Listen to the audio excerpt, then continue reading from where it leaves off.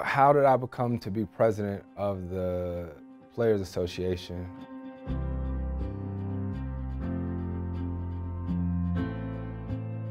It actually happened in, Vegas four or five years ago, and I was there for our regular summer meeting and had no intentions on running for the presidency when a few players came to me and said, hey, Chris, we would like for you to do it. We need you to do it. And I said, whoa, I, I don't think I have that kind of time. It's turned out to be one of the best things I've ever done. I've had an opportunity to learn so much. It's really a position of service. You're about what's best for the entire group of players and something I wouldn't change for the world. A year or two ago, uh, we had no work stoppage.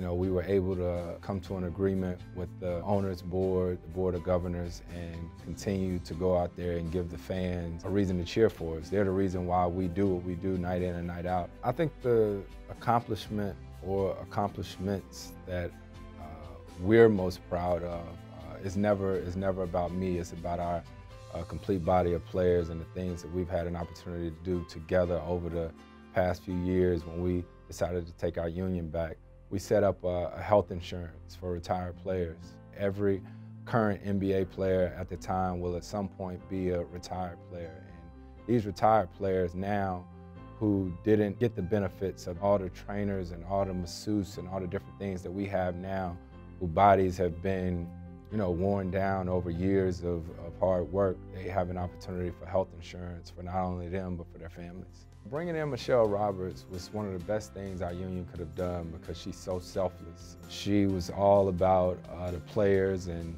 and making sure that we got a fair deal. And also, uh, she, she played a big role in having us understanding our value.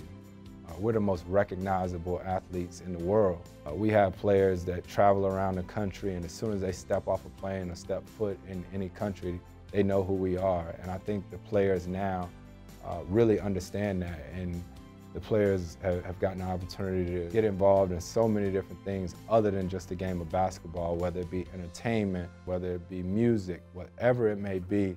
Uh, I think the players now realize that the sky's the limit.